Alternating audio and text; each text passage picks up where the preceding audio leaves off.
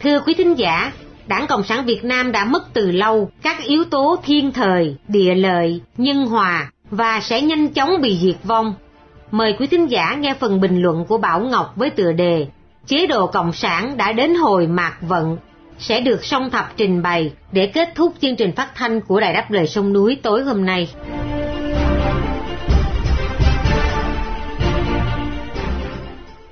Dấu chỉ nào xuất hiện để mô tả sự tàn tạ của một chế độ?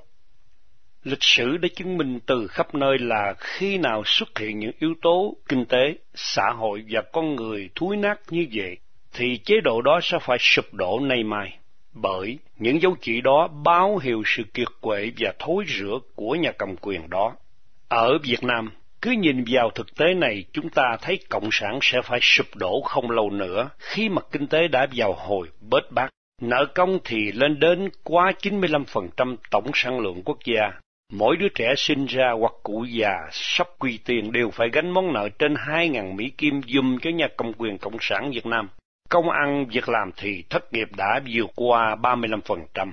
Trong khi đó, xã hội đầy dễ những đâm, chém, giết, hiếp, ra đường, về nhà đều có thể gặp tội phạm. Cha mẹ, anh chị em, bạn bè, người tình giết hại lẫn nhau, đạo đức suy đồi.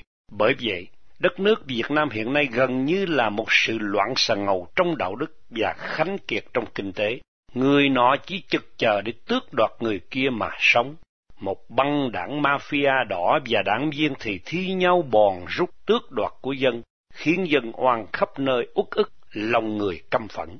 Thay vì giải quyết bằng chính sách tự do, dân chủ, công bằng, thì Cộng sản Việt Nam lại đàn áp người dân một cách giả mang. Chính vì vậy, người dân oan càng ngày càng tăng. Việc bán nước cho tàu một cách công khai đã khiến người dân càng thêm căm phẫn, lòng dân đã dần thay đổi. Mặc dù còn nhiều người dân còn vô cảm, nhưng họ cũng đang có dần một bước chuyển biến rõ nét. Trước đây, khi những người đầu tiên đi biểu tình chống Tàu Cộng năm 2006 thì chỉ vỏn vẹn vài chục người, rồi tăng dần lên vài trăm. Và bây giờ khi có thảm nạn cá chết ở miền Trung, đã có hàng ngàn người biểu tình ở khắp mọi miền đất nước. Khi nhà cầm quyền tàn ác với dân, mà người dân lại có những thông tin sự thật từ Internet, đã giúp đồng bào thoát bỏ dần cái vỏ óc sợ hãi. Đó chính là lý do mà Cộng sản Việt Nam sẽ phải sợ người dân, chứ người dân dần dần không còn sợ Cộng sản nữa. Ngoài ra, như đã thấy khắp nơi từ đồng bằng sông Cửu Long, Tây Nguyên cho đến miền Trung, đâu đâu cũng có thiên tai, dịch họa và chất độc tràn lan, báo cho thấy thiên nhiên cũng không còn muốn việc Cộng tồn tại nữa.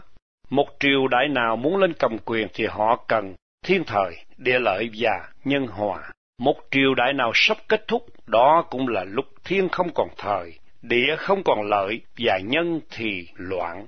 Chiếu vào tình hình Việt Nam hiện nay, không sớm thì muộn, chế độ Cộng sản cũng phải sụp đổ, chứ không cái gọi là quan vinh muôn năm như cách chúng vẫn tự vỗ ngực.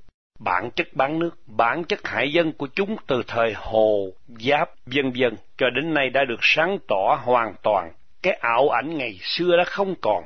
Vì lẽ đó mà đảng Việt Cộng không còn một thứ gì để mà bám víu vào cả. Họ chỉ còn cách dùng bạo lực để đàn áp, nhưng càng cứng càng gãy, càng ác thì càng sớm sụp. Đó là quy luật bất biến muôn đời của tất cả các chế độ mà Cộng sản Việt Nam không là ngoại lệ. Còn Cộng sản ngày nào thì đất nước còn khổ đau ngày đó. Chính vì thế, khi mà thiên thời, địa lợi, nhân hòa đã xoay chuyển sang phía người dân, thì đồng bào cần phải biết nắm lấy cơ hội này mà dùng lên, thoát Việt Cộng thì sẽ thoát Trung Cộng, từ đó mới có thể cho Việt Nam được xác lập lại chủ quyền. Kẻ làm ác sẽ gặp ác báo, chế độ nào không phù hợp, đi ngược lại lòng dân, phản bội lại dân tộc thì chế độ đó sẽ phải diệt vong. Quy luật bất biến này một lần nữa sẽ được tái khẳng định tại Việt Nam.